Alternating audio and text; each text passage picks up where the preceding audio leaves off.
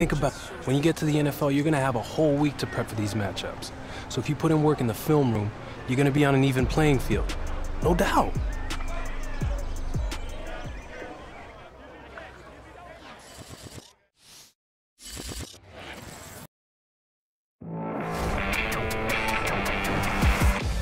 All right, so here's the interesting part.